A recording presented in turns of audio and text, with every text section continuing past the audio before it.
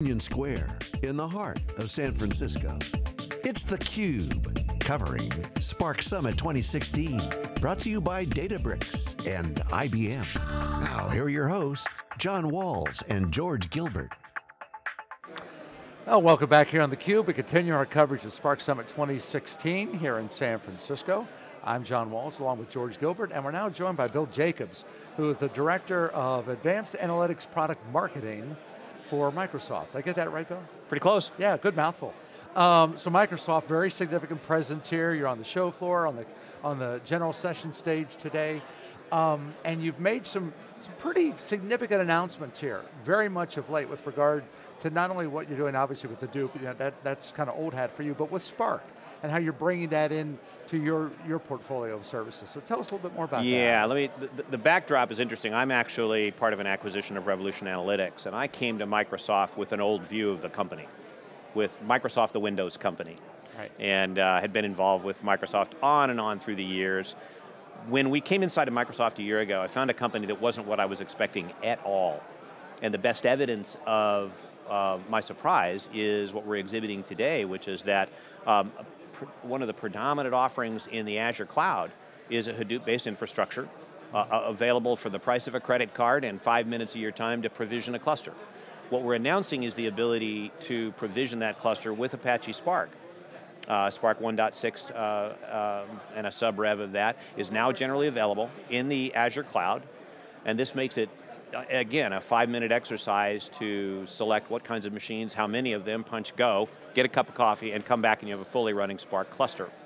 Um, that cluster also includes uh, Jupyter notebook integration already uh, uh, in the product to make it very easy for data scientists to interact with that cluster. Um, we are talking about a little bit of work we've done with Cloudera to provide some RESTful interfaces to make it easy to manage Spark. Uh, that's the first thing. And the second thing is there's an addition of that product uh, a premium edition that includes the R server technology, which Microsoft acquired. Um, uh, that's when I came aboard, uh, the acquisition of Revolution Analytics, that it makes it possible for our data scientists who are not typically involved in um, uh, the deployment of large clusters to take advantage of Spark as a very, very high performance back end for doing large data analytics. Our measures, um, uh, comparing a Hadoop MapReduce engine to the very same product deploying into Spark is about a 7x performance boost, which is very surprising. It was a very well engineered, massively parallel algorithms that are highly tuned, and I didn't expect that we'd get more than four or 5x performance boost. We're seeing seven.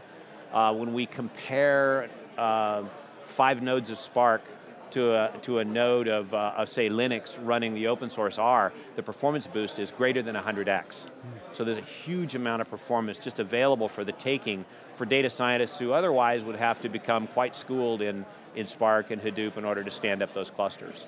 Um, the last thing is simply that, uh, and this is the part that still amazes me, is Microsoft's thorough commitment to open source. Um, a very large measure of what we do in Azure is based on Linux, Hadoop, and now Spark and R and other languages are coming. So a lot going on. Quite a quite an interesting time. Right.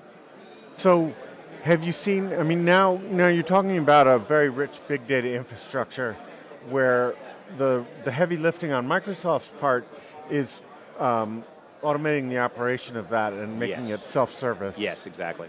So what sorts of applications are you seeing coming on board, you know, in these early stages? Because, you know, it used to be Windows Azure was the cloud. Yes. Took out Windows because they didn't want to confuse people and think they're only supporting Microsoft right. stack. Right. So what's coming on board? We're seeing a lot of things. Um, um, in my particular purview as a product marketing guy in the, in the advanced analytics side, we're seeing massive activity in financial services, in insurance particularly. Um, when you look at uh, the, the insurance companies, and I won't say their names, they offer you a dongle to plug into your OBD2 port on your car and measure how your teenager is driving. Hmm. What are they doing with that data? They're or landing that yourself. in. Oh yeah, I was going to say the same. Uh, yeah, um, no yeah. comment. Um, those types of applications that allow, uh, the, the general term in insurance is usage-based insurance. But what it really is, is much more finely tailoring the risk measure to the insured. Well, that's one example. In financial services, we're seeing uh, massive uptake of large uh, clusters being used for modeling fraud, credit card processors. uh, we are seeing uh, a, a, big upswing in predictive maintenance. Uh, we just, uh, we have a couple of major equipment manufacturers in the building business. I won't say their names because I'm not sure the status of the referenceability of those. But if you think about someone who operates large equipment, if they can cut their maintenance cycle, maintenance costs, by only going out when the machine needs maintenance, and being there an hour before it needs maintenance, they not only get a lower cost of maintenance, but a higher uptime for their user. And this pervades a whole bunch of industries. So that blends predictive maintenance, Internet of Things technologies together. We're seeing a lot of that. Heard, um, in fact, we, we, actually heard we talked about uh, airplane travel. Yes. Or, or, airplane, you know, maintenance, uh, automotive maintenance. Mm -hmm agricultural equipment maintenance, uh, rail transport, gas turbines, uh, all those things. So yep. all these areas. I mean, is is that is huge growth area? Is that one of the key areas though? I mean, are, are, are You know, I think it's a sharp spiking area, and here's why. And I, I did a little study on this. I, I, have a history in manufacturing automation with Hewlett Packard years ago. Okay. And, I, and, and we started looking at the IoT business. Of course, Microsoft's involved in that business, and we have other customers that are using other products. But when you split the IoT business into two areas, you come up with kind of an industrial IoT and a more consumer-oriented IoT. My thermostat in my refrigerator, or my car. When you look into the industrial IoT side, you find um, manufacturing automation types, this is not new for them. Yeah, it's a new data source, maybe it's more data. Mm -hmm. But I look back, how far back do you have to go to find the first instances of statistical process control? Well, it turns out it was Toyota. 1935 hmm. oh, in their first quality control. In their first automotive engine casting plant is how I read the, the story. That's how far back it goes. So that is a spiking industry because the knowledge of how to use statistics to improve manufacturing processes is not new.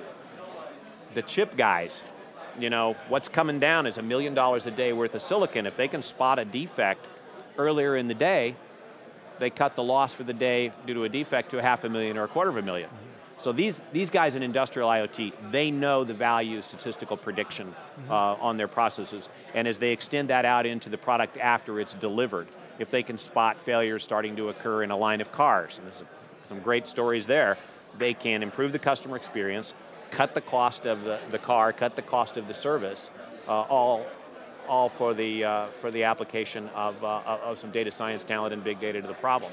So that's spiking very quickly. The longer term stuff is where we're uh, um, perhaps going into combining um, a, a, lot of data from a lot of sources that surround us as, as, as individuals and bringing that together with, uh, uh, to improve the customer experience at a retail store. Those kinds of things are, are, fat, are slower growing, but probably bigger in the long run but the industrial IoT business and the predictive analytics that has to accompany that, that's taking off very quickly. So we've come at it from the capability point of view. Yes. And, and, the, and the benefit point of view. Um, Microsoft's got this amazing asset called a, you know, enterprise sales force mm -hmm. that they can, so they can go walk the halls of the customers and yes. ear to the ground and identify the opportunities.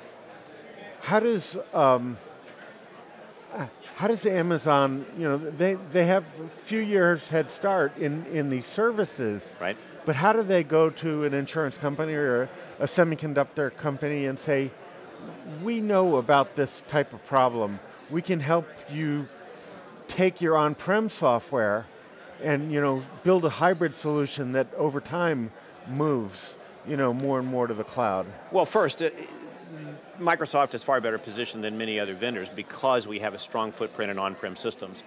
The R server product runs both on premises, on Hadoop and Linux and Windows and Teradata, and in the cloud, and that provides a bridging technology. But you ask about the Salesforce, and, and, and I spend a lot of time with our Salesforce, and I, and I spend a lot of time out meeting their, their senior executive uh, sponsors and their customers. The problem that all of us are dealing with this in, in this industry, particularly around data science, is identifying all of the constituencies. Tell more, that's interesting. There are we, between two and yeah. four constituencies involved in every use of big data analytics. Somewhere's a data scientist. Might be called an actuary in the insurance business. Might be called a quant if he's you know, measuring risk for a middle office guy in uh, Goldman Sachs or something. The second audience is an app developer, typically, and a newer audience to the space because typically data analytics was a product unto itself. You produced a chart, you produced a prediction. Now that's being used to automate an application. Present the right ad to the client as they walk in the store. Present the right rating schedule when you rate their insurance. That's becoming an end-to-end -end process.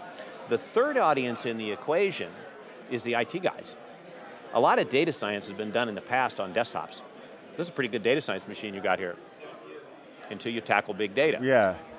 When that big data problem hit organizations, all of a sudden, CIOs said, I don't want any more shadow IT. I don't want any more appliances and closets in the marketing department.